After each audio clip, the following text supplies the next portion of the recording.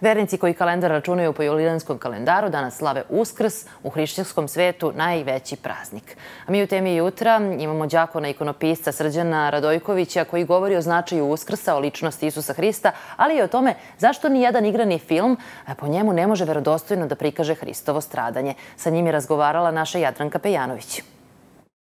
Pre svega hvala vam e, što ste e, gost e, novog dana i koristim priliku da vama čestitam praznik. Hvala.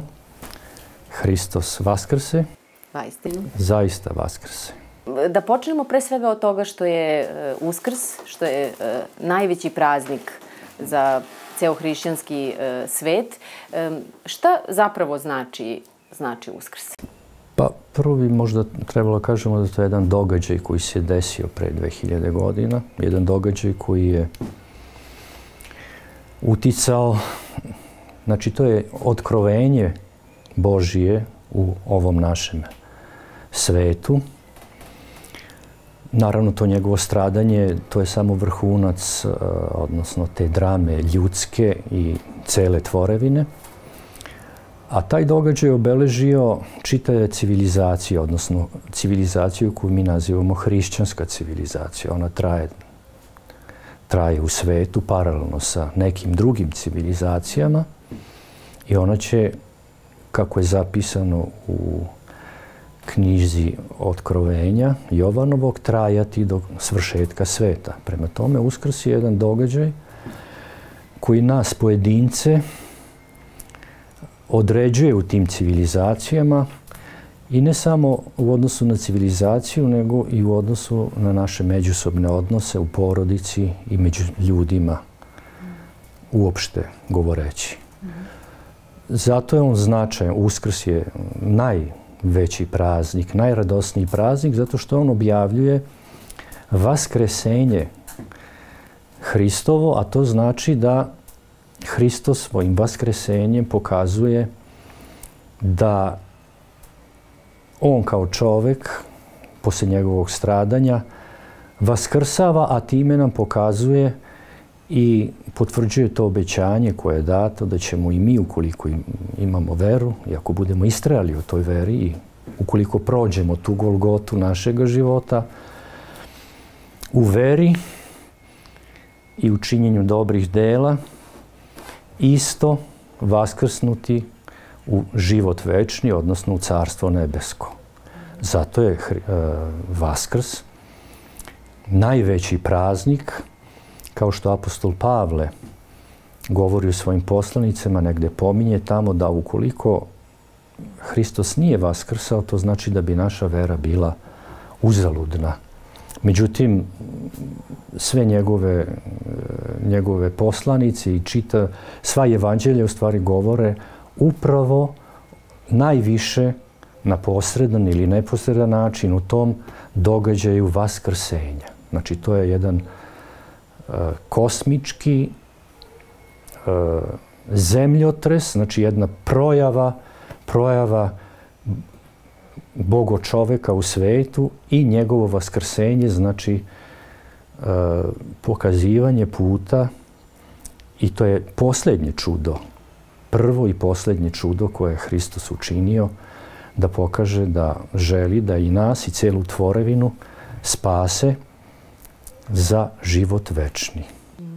Spomenuli ste e, da prolazimo u Golgotu našeg života. Da, da li ovaj e, svetovni e, život treba da bude težak za da. obične ljudi ili kako da na tu muku gledaju bilo kakva da je ona? Da. Pa svetovni život i uopšte svih živih bića ima svoje teškoće. Ne samo ljudi, i biljke imaju svoje teškoće. Zamislite kada nema vode, kakva je to teškoća. Ili recimo kada je neka poplava, kako će se mravi ili ostale bube snaći u tim. Znači, cela tvorevina je podložna propadanju. I sva teškoća našeg života je u stvari u, našo, u našoj propadljivosti, našoj nesavršenosti i našoj, kako bi rekao, želji da to prevaziđemo. Međutim, Da bi to prevazišli, mi moramo da prođemo ta iskušenja, kao što i gospod naš Isus Hristos prolazio. I mi iz tog njegovog primjera i uz njegovu pomoć učimo kako da ta naša iskušenja, koja su raznih oblika, psihološka, fizič, fiziološka i tako dalje, sociološka, sukobi, ratovi, onda bolesti i tako dalje. To imamo jednu lepezu tih stradanja. A najveće su stradanja izgleda ona koja se tiču naših želja, znači naših, naših duhovnih praznina. To su ona specifična stradanja koja, koja nas u stvari vode i do, do ovih drugih fizioloških, recimo, stradanja. I ugledajući se na, na gospoda našega, a i čitajući evanđelja, evanđelja, možemo vidjeti kako u stvari za sva naša stradanja postoje i, i konkretni odgovori, kako su sva naša stradanja i prikazana u pričama, parabolama i u događajima samog evanđelja. To se može upoređivati, a to, to su mnogi i radili sociolozi, psiholozi, teolozi i tako dalje. Znači, mi imamo jednu knjigu, svetu knjigu, a to, su, to je Biblija, odnosno četiri evanđelja, koje nam govore o tim stradanjima i skriveno nam otkrivaju kako možemo da ih savlađujemo. Mm. E, uskrsu prethodi ono što zovemo strasnom e, sedmicom i e, negde i u svesti ljudi možda teškom, teškom nedeljom koja e, zapravo šta ona označava za, za ljude? Da. Pa ona se zove strasna sedmica zato što je imamo sled događaja te posljednje nedelje posle ulaska u Jerusalim. Gospod prolazi kroz najveća poniženja, šibanja, pljuvanja, suđenja i na kraju osude i na kraju stradanje. To je ta strasna sedmica, znači sedmica stradanja. Naš post koji je trajao 40 dana, jel da ima tu posljednju sedmicu, znači pred posljednju sedmicu, jel da kada i naše telo na neki način mi prilažemo ili žrtvujemo naše neke potrebe, jel da? Tako da je čitav naš život a, u to vreme strasne sedmice i prethodne sedmice koje se naziva gluvna, veoma podložan raznim iskušenjima. Tada smo veoma slabi i podložni smo raznim stradanjima. Ne bi, ne bi upotrebljavao reč, neke, neke teže reči. Znači, treba tu sedmicu nekako shvatiti ili proživljavati sa svešću da je ona zaista teška i da posebno treba da pazimo na naš život, da se smirujemo i da u miru dočekamo, odnosno ispratimo to stradanje Hristovo i da u miru dočekamo taj najradosniji praznik. Jel da? A obično kad je ne, e, tom najradosnijem uvek prethodi nešto što je suprotno, kao neka mala opozicija, jel da, neko odricanje, jel da. Što je veće odricanje, bit će i praznik veći. Veliki petak je najtužniji dan, evo sad smo i pričali da. o tome kako nam najsrećnijim uvek prethode da. neki najtužniji e, trenuci i e, dan najvećeg e, stradanja ikada jel tako, u, da. u čovečanstvu. Da. Kako ljudi, nebitno verujući ili ne, da se prema, prema njemu nekako, nekako odnose? Pa, hrišćani bi trebalo, kao što se i govori na liturgiji i kao što se govori ovaj, kada se spominje Veliki petak, kada sve zamire, znači svaki glas svaki cvrkut, svaki šum i tako dalje miruje i tuguje u stvari. Znači tu je jedna tuga, koncentrisana tuga, ne kao neko padanje u očaj, nego jedna maksimalna koncentracija, odricanja od svih spoljnih elemenata i koncentrisanje na taj tragični događaj, tragičan događaj.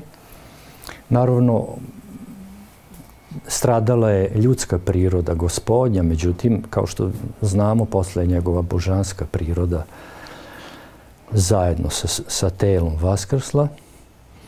Zato je Veliki petak, ne bih rekao tragičan, nego, mm, nego opominjući jedna tačka sabiranja tačka sabiranja najveće moguće koncentracije u očekivanju samog vaskrsenja. Nekako bi tako odredio Veliki petak. Ako bismo um, o Isusu Hristu govorili kao, kao čoveku, da. Kako bismo opisali njegovu ličnost? Da. Pa dobro, vi ste sad malo, mi njega doživljavamo kao Bogo čoveka, naravno i njegova čovečanska ličnost je prisutna, naravno on je bio realno prisutan u ovom svetu, I baš zato što je njegova čovečanska priroda bila među nama, jel da, mi ikonopisci ili oni koji se bave ikonopisom i mogu da ga izobražavaju -hmm. u svom obliku čovečijem, jel da, sin čovečiji. Sad, kakav je on bio i to je sad pitanje raznih televizijskih emisija, e, strane proizvodnje i tako komercijalne, je to pitanje kakav je bio, da li je bio. Ali e, ikonopisačko iskustvo nam govori da je on imao, odnosno, naravno da je imao lik i da je imao imao oblik čoveči i sve što, se ti, što je karakteristično za ljude, ali ikonopisci dobro znaju I u tradiciji ikonopisa ima hiljadu likova koji su različiti, a opet oni predstavljaju mi nedvosmisleno, možemo reći da je to gospod. Po spoljnim obeležima, ali više po onim duhovnim obeležima koji čine njegovu božansku prirodu. E sad, to je tajna. Kakav je bio, to je tajna, mi to nikako nećemo saznati. Međutim, tu tajnu vam ili nama i vama otkrivaju ikonopisci. Što su bolji, oni će tu tajnu otkriti. Dakle, njegov lik treba tražiti lik u ikonama. U ikonama. U ikonama sigurno, a ne u filmovima i televizijskim serijama, jer to, to, će, biti, to će biti neuspješno. U ikonama, jer 2000 godina tradicije, jel da, odnosno slika na njegovog lika, od onog prvog koji je bio na, na nerukotvoren ni obraz, jel da, koji, koji on otisnuo na onom ubrusu, jel da, mm -hmm. pa sve do današnjih dana ikonospisci sjedinjuju njegovu božansku i čovečansku prirodu stvarajući ikonu njegovu. Mm -hmm. Ukoliko oni to bolje urade, mi ćemo ga otkriti u svojoj lepoti. A ta lepota je zaista sve, sve vremena i neograničena. To znači da on ima mnoštvo likova, ne bi, ne bi rekao neograničen broj, jel da, ali mnoštvo. Sad moram da vas pitam, e, mnogo je umetnika u, e, koji su kroz istoriju da. E, slikali, slikali Hrista. Imamo čuvenu fantastičnu sliku da. Leonarda da Vincija da. i, i Tajne večere. Kako vam, se, kako vam se to čini? Kazat ću vam šta ja, kako ja to vidim. Da, možda to znači iz nekog iskustva. Nekako vidim kao percepciju, jel da? Jer ja nisam ni video tu fresku. Video sam uživo, video sam je na, na reprodukcijama, ali dovoljno je da je vidim. U istoriji slikarstva ko se trudilo da ta, te događaje obeleži na neki način, ta renesansa je neuspešno to radila. Znači, to su religijske slike. Zašto je neuspešno? Zato što su se oni bavili samo istorijskom dimenzijom događaja, pa su prikazivali u nekim interijerima koji su odgovarali ili nisu odgovarali. Malte ne pravili su u stvari kao neka mala pozorišne, male pozorišne predstave od toga, kao ne, neke male ansamblaže i tako dalje. Međutim, nešto se desilo posle u modernoj umetnosti kada taj istorijski, taj, rekao bi, mogu to da upotrebim tu reč, neki, neki klasni, ali ne u onom kako mi razumemo klase, nego to su bili ti Ufici, bili su ti Medici i tako dalje, oni su svi želeli tu besmrtnost i oni su i razne pape, jel da Michelangelo je bio izložen veoma velikim prohtevima, odnosno zahtevima papa, jel da, da, da ih ovekoveči i tako dalje. Znači, renesansa je tu samo beležila scene istorijske sa velikim umećem slikarskim, ali čove, čovečanskim umećem, jel da? Izostao je ne baš potpuno, nego onaj duhovni smisao koji je ostao negde na istoku, duboko u tom lepom istoku, jel da, koji oni nisu, nisu ni videli, jel da, nisu mogli da vide. Zato što su se, uh, zato što su se uh, ugledali na grčku i na rimsku umetnost. A te, te civilizacije su antiteza hrišćanskoj u smislu ovaj, razumevanja hrišćanstva kao, kao vere, jel da? Ne kao sistema državnog ili vre, sistema vrednosti. I sad desilo se nešto u 20. veku. Mnogi, mnogi slikari, iako nemušto, ali sa velikim srcem, otkrivaju lik Hristov, recimo, recimo nemački eks, eks, ekspresionisti, Kirchner ili tako dalje, onda ovaj kako se zove, ovaj jevrejin, Šagal. Mm -hmm. Znači, on otkriva i on, znači, te, ta hrišćanska civilizacija tu negde dobija, dobija neki duhovni priziv, jel da? Ali im sada izostaje ona, ona istočnjačka lepota i ono, ona autentična, ovaj, autentično spoj i ljudskog i božanskog.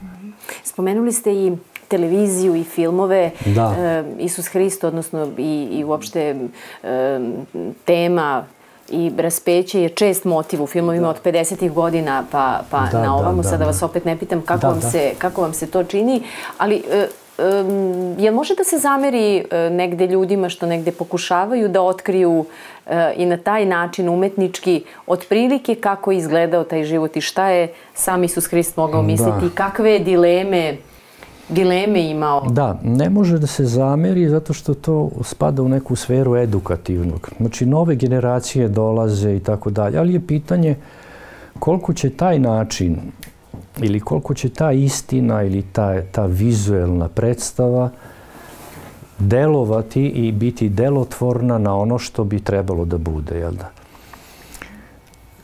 Antiteza svim filmovima, serijama, tim koje pokušavaju tako da komercijalizuju te, te kako bi rekao, te univerzalne vrednosti je sama liturgija. Čin liturgije? To je, to je, to je naj to je tajen, to je, jedna svet, to je jedno sveto vreme i sveti prostor u kome se dešava upravo ono što bi su oni hteli da snime, ali ne mogu da snime nikako. Znači, antiteza je liturgijski život ili sama liturgija gde imamo čitav život gospoda našeg se odvija u toj liturgijskim tim radnjama, jel da?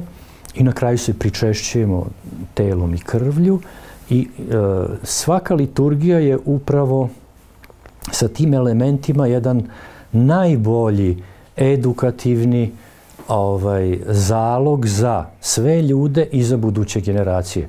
Prema tome, film ostaje zabava, serije ostaju navika,